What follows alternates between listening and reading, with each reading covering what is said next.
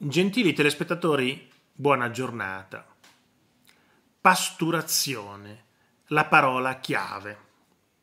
Ecco come vuole fermare la Meloni Giorgio, eh, sì, Giorgio, Giorgio Berlusconi, no, Silvio Berlusconi. Silvio Berlusconi è evidentemente un problema per la costituzione del governo Meloni, ma anche non solo per la costituzione, ma per il proseguo soprattutto per il proseguo. E allora come si può fare a fermare Silvio? Eh? Silvio. Difficilmente si possono costruire maggioranze alternative. Abbiamo visto che Meloni e Salvini con chi si alleano? Con Calenda impossibile, col PD impossibile, col Movimento 5 Stelle difficile, impossibile.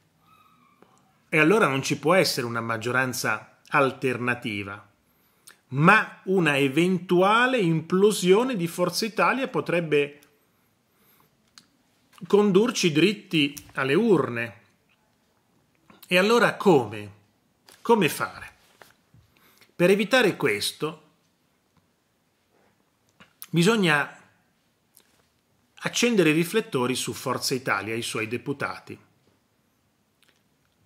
loro sono stati eletti in Forza Italia grazie al traino dei voti di Fratelli d'Italia.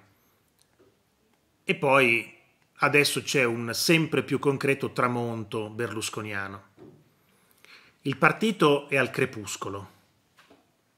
Ormai è quasi buio nel partito, è quasi finita. Il partito sparirà, come è sparito il Partito Socialista, la Democrazia Cristiana, il Partito Comunista Italiano, come è sparito tanti altri, Alleanza Nazionale, sparirà anche Forza Italia, non c'è dubbio.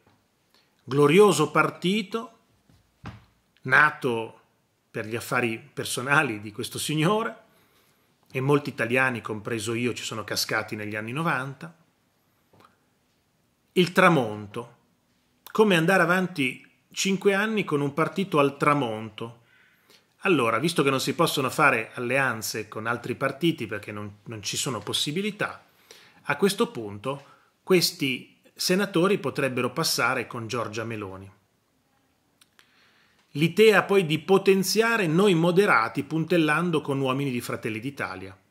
Autentico magnete per garantire la transizione e il passaggio di parlamentari di Forza Italia in area governista, ovvero meloniana. Al posto che andare dalla Meloni, che Berlusconi vedrebbe come uno sgarbo inaccettabile, questi potrebbero andare, potrebbero andare da noi moderati, oppure al gruppo misto, dicendo noi siamo fedeli a Meloni, ma per adesso stiamo nel gruppo misto, ma votiamo per Meloni. Se c'è ancora Berlusconi con Forza Italia ancora nel centrodestra dopo questa scissione.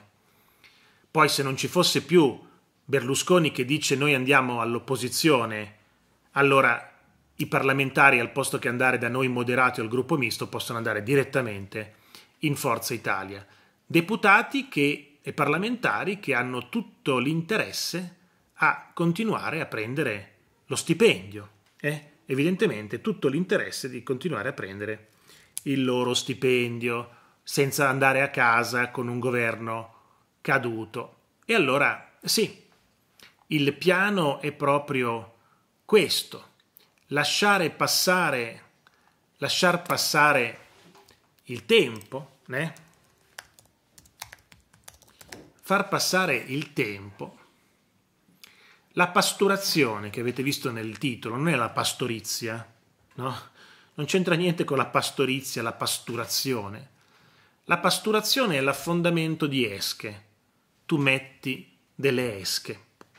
Il governo comincia e tu metti le basi, la pasturazione è mettere le esche pronte per quando Berlusconi dica basta e tutti, pum, con le esche finiscono con Meloni, noi moderati, eccetera.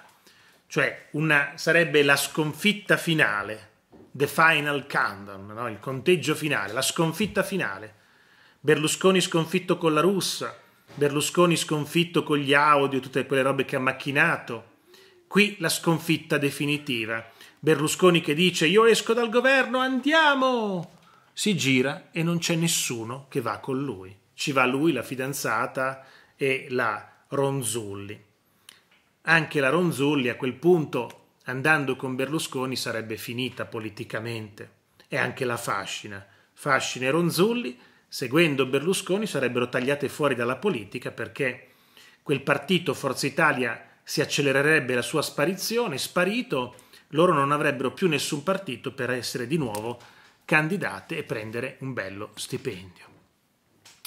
Ecco, ecco la pasturazione, aspettare, aspettare che le cose vadano avanti per un altro, per un altro po', per un altro po' in modo che eh, le cose si sedimentino per qualche tempo e poi pronti a saltare tutti in Fratelli d'Italia. E così, questa è la... In terzo luogo poi abbiamo, abbiamo anche Matteo Salvini, che per adesso è lì, non dice niente. Pertanto eh, il problema di Salvini oggi è secondario. Tutti ci si immaginava che Salvini diventasse il primo problema della Meloni, invece improvvisamente Berlusconi ha sorpassato tutti ed è in testa tra i grandi invidiosi, propriamente distaccato anni luce da tutti. Così la Meloni deve guadagnare il tempo necessario per realizzare i primi passaggi, fidelizzando così un numero sufficiente di parlamentari di area centrista per evitare il ritorno alle urne. Questo è, è quello che sta succedendo ed è quello che stiamo vivendo. No?